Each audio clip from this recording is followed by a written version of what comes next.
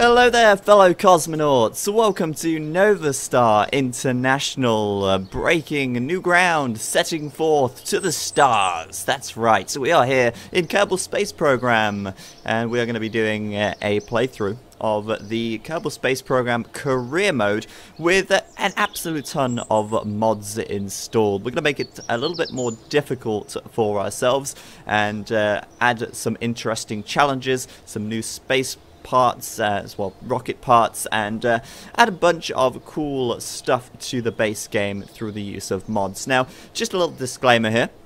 You might be thinking, hang on a minute, if this is the career mode, why are all your buildings upgraded to level 3 already?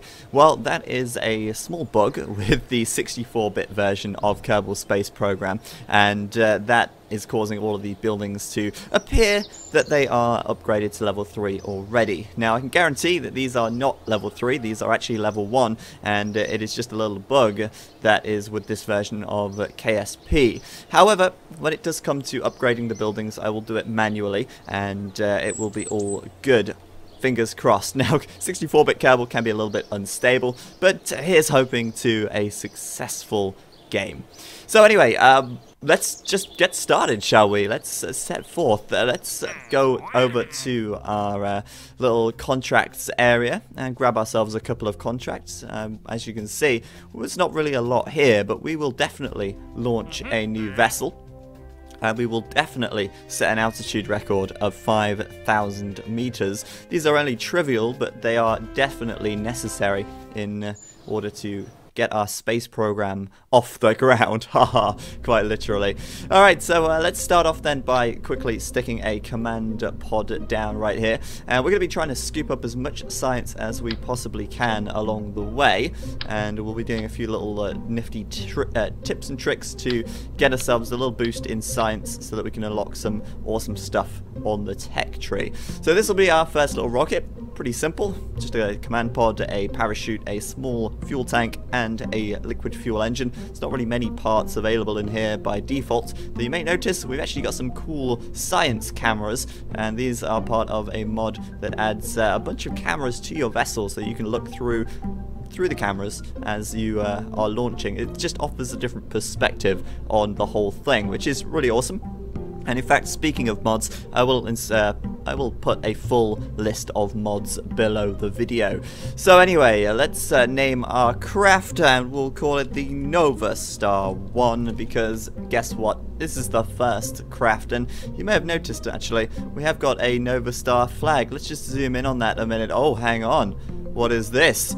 I see some googly eyes. Hell yeah, look at that. Nova Star with the googly eyes. Fantastic. Alright, so that'll do for our first vessel. Let's just launch it and uh, get these first contracts signed off. No point wasting any time at all. Now, before we do launch, um, we've got the life support stuff up here. We'll minimize that for now. That's not going to come into play for a little while. But yes, before we actually launch ourselves off, let's grab ourselves some science. Let's do a crew report. That's fair enough, crew report from the launch pad. You find a kettle in the supplies container and start to beg Mission Control the permission to stop what you're doing and have a cup of tea. That sounds like a very British thing to do, actually, and uh, I'm totally, totally for that. Let's uh, grab ourselves an EVA report as well. Believe it or not, we are actually flying over Kerbin's shores right now. Um, yes, we're not exactly very high up, but we'll get some science for that, and that's all good. We'll also take the data from the capsule and reboard so we can do another crew report once we lift off. So that's just a little bit of science before we've even left the ground. Not a bad start, but let's stick on SAS right here. We'll power up and remember we're trying to reach a target altitude of 5,000 meters. We have liftoff, and I think we're going to be able to do 5,000 meters quite easily with this tank. And it's not the most, uh, not the most uh, large tank in the world, but it should do the trick. Launching up, we're at 3,500, and yeah, we should be able to make it. Let's do another crew report while we're here, though, and do we look out the window, see a piece of your rocket fly off. Oh, it wasn't important anyways. Well, that's a good job, because uh, I'd be pretty scared if I uh, was looking out of my little cockpit window and I saw pieces of my rocket falling off to the ground around me. That would not be cool. So anyway, we've reached 5,900 meters and we are returning back to the ground. Let's stick our parachute on and hope that we can land this thing without exploding.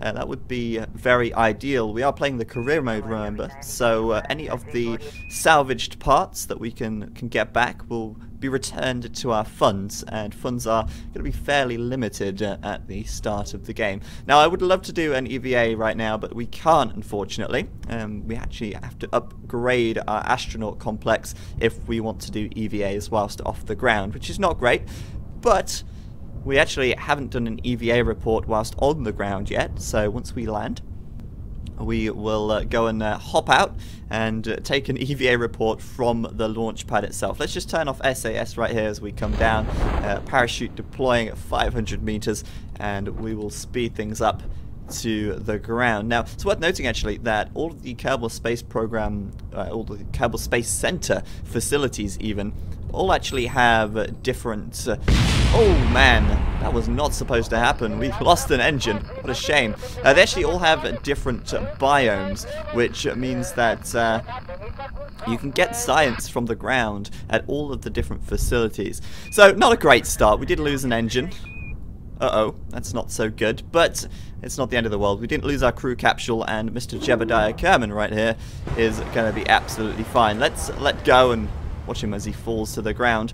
And we can do ourselves an EVA report now from the surface of uh, the launch pad, uh, which means, well, I don't think it was uh, necessary to go here with the spacesuit. Yes, you are completely right, Mr. Jeb. We'll get him back inside that capsule and recover the vessel for a grand total of, uh, let's see, 23 science, not bad overall there. 18 science earned from that little mission that's pretty decent, to be honest with you, for doing not a whole lot. We got some funds back from landing at the launch pad, but we lost our engine, which kind of sucks. We could have got a little bit more funds from our recovered parts there. Jebediah gained a ex oh, an experience point, which is great, and our total reputation is now 22, paving the way for better upgrades and better contracts.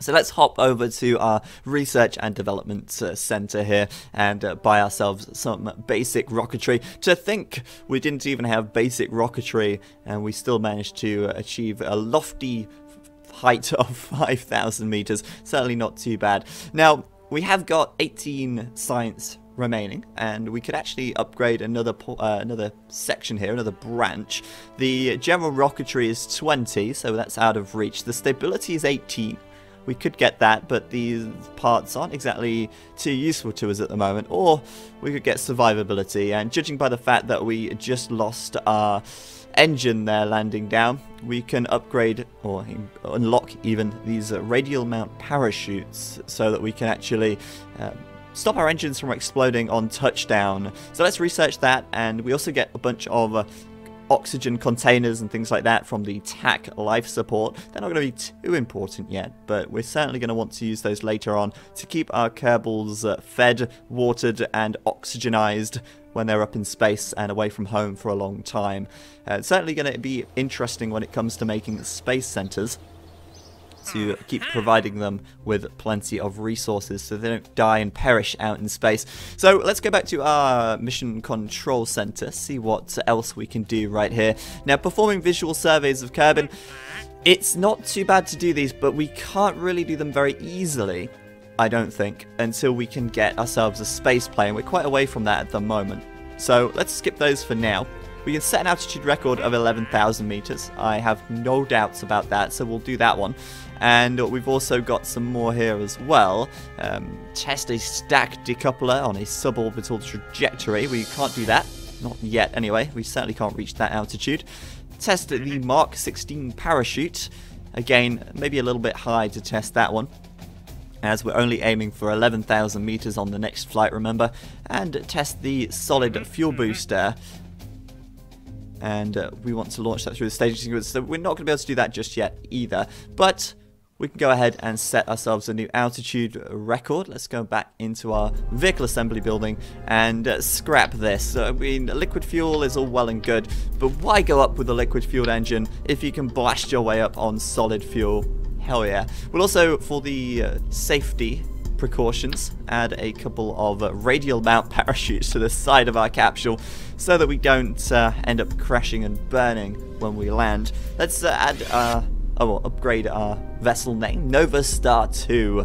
How original. And we'll launch ourselves off. We've got about double the Delta V here, according to the Kerbal engineer, which uh, unfortunately won't be accessible once we launch, as we don't have the Kerbal engineer chip put onto the vessel. But uh, we should be all good to go, I think. Um, 11,000 meters, perhaps that's just enough to reach the upper atmosphere. I'm not actually entirely sure where the upper atmosphere starts and the lower atmosphere ends, but we're blasting off, and uh, we're going to be going pretty quick. 200 meters per second, and there's plenty of solid fuel in this bad boy. We are going to continue going up, and I'm a little bit concerned, actually, that we might go maybe a little too high. We are just under 4,000 meters and we're going to start tilting to the right here because uh, if we land back at the launch pad we're actually going to find that we've not uh, we're not entering a new biome if we launch uh, land back at the launch pad. So I'm tilting to the right in the hope that hey we can go and uh, head over the water here. Let's do a crew report. Nothing new at the moment, and we've broken the 11,000 meter mark as we are about to start descending. That's really not too bad. 13,000 meters is uh, pretty high. Still no new science to gain, but once we splash down in the water, we'll be able to do some science from there. And we'll be able to do a crew report from the water. We'll be able to do an EVA on the water as well. So I want to be very careful when we land here that we land with the crew hatch facing upwards. We should be fine. Let's turn SAS off then and float serenely back to the ground. Having a quick look at our contracts as we float down. We set that altitude record gained a little bit of money and some reputation, but unfortunately no science for that one. The nice thing about the career mode, of course, is that you do get science for some of these things as well. So just a little of a, a little bit of an extra way to get some more science. But hey, let's uh, speed things up slightly here as we come down. Our parachute's not going to open until 500 meters anyway, and then, and then, we'll take ourselves out of the time warp so that no dodgy physics happens. Let's uh, come down a little bit faster. There we go. And our parachute's about to deploy. There they go, slowing us down to 4.4 meters per second. That's really not uh, not too fast, which is a good thing. We don't want to be crashing down and exploding like last time. So let's do the time warp again and bring ourselves back down to the water. Of course, we're over sea level. This is the uh, altitude above sea level, so we've got a long way to go. And 4.3 meters per second is not, uh, as I say, the fastest speed. So we might be here a little while as we uh, prepared to splash down. Let's do a quick crew report here, see if we get anything. Yes, we do, because we are technically flying over the water. Does our craft float? Maybe we'll get to test it. We will indeed, actually. We are about to about to splash down. And, uh, well, I have a sneaking suspicion that we might just about float. Let's uh, see, shall we? 15 meters to go, and touchdown. Look at that, just dipping into the water. Are we going to tip? Yes, we are. Oh! Well, that was quite a vigorous landing. Anyway, we can rotate our vessel now so that our crew hatch is facing upwards. Let's do another crew report. Uh, oh, wait, we can't do another crew report. We have to get out first. So let's EVA. And Jebediah floating pretty precariously on the water there. He probably weighs more than the vessel at this stage. We'll do an EVA report out here and uh, quick, get back in, quick! Uh, as we're flying over Kerbin's water. This is an interesting little bug, because we're not in the water, we're technically flying over it, even though we are furthest thing for flying, I can imagine. We'll keep that, and we'll grab the data from the command pod, and we'll get back in. The little dance we've got to do here. We'll do another crew report, and this time we can do the crew report from the water, not above the water. We'll keep that, and then we'll get back out again, because we want to get ourselves... Let's climb onto here. Wait, look at me! it's like a big surfboard. Uh, we want to go off the side and actually do an EVA report from in the water itself. To cal you calculate the number of snacks you should bring to be able to swim to KSP. Well, it's really not that far away, so I imagine uh, no snacks required. Or in the case of Kerbals, 100 snacks required because uh, always, always require snacks. So there's the KSP over there. It's not far away at all. So let's go back into this. Can we get on there? Come on, jump up. You can do it. Oh no. Let's try and uh, Let's try and position ourselves at the front to give us the best chance of getting back on here. Oh, go on. Ah, no. Let's try the jetpack on, see if that's going to help us. I have a feeling it won't. No, we can't do that. Oh well, we'll have to recover the vessel separately. I would have liked to have get, gotten back into the capsule. Uh, we recovered Jeb, and that's a total of four science gained. And I just realised we used Jebediah again. Not a good idea, because he doesn't actually gain any experience from that, as the other Kerbals would have. We'll hop into our tracking station then. And uh, we'll go and recover the Nova Star 2 now. And we'll get a little bit of extra science from this. Oh yes, look at that. Another 11.2, which means that we get uh, a total of uh, 18 science now, which is really not bad recovering some um, parts, of course, and that's that. So, let's head back over to the overview of the Kerbal Space Center and hop into our R&D lab once more. Now, 18 sites is enough for us to unlock stability, but I can't help but think that that's not going to be, again, too useful to us for now. So what I'm thinking we should do instead is uh, perhaps buy ourselves general rocketry once we get a little bit more science. So let's just go over to the R&D, on the R&D, sorry, the mission control. And lo and behold, we have a bunch more contracts, which is good. Uh, this one should be nice and easy. Having a quick look at this. Test the LVT-45 landed at Kerbin. Well, that's going to be easy, because all we have to do is put that as our engine and launch, and we will have done that one. So we'll accept that one. And uh, let's see what else we've got here test the Rockomax solid fuel booster. It's kind of difficult to test these because we have to get ourselves up to altitude first before launching them. So perhaps not that one, but set an altitude record of 22,000 meters. I think we should go for that. I think that's certainly achievable. And with that, we should get ourselves plenty of additional science to unlock more bigger and better rocket parts. So let's quickly build this vessel, and I think we'll have to save launching this one until the next episode. But uh, as you can see, we've got our T-45 liquid engine, experimental, be warned, likely to explode. Um, no, we should be fine. We just need to stick ourselves on a pretty decently sized fuel tank. One, two, and we'll stick ourselves the LV45 on there. Pretty simple design so far of course. And you may notice, yeah, these uh, rocket uh, fuel tanks here, they're not actually in the base game. Nope, this is KW Rocketry, one of the other mods that we have installed. Pretty awesome mod, actually. And uh, we'll actually get to see the use of the fairings later on when it comes to building probes and all of that jazz. So uh, that's going to be the Nova Star 3. I don't know if that's going to actually reach 22,000 meters, but if you want to find out, I guess you have to stay tuned for the next episode of Nova Star International. And uh, for now, I've been Zach. Thank you very much for watching Zero Gravity Gaming, and I'll see you guys next time.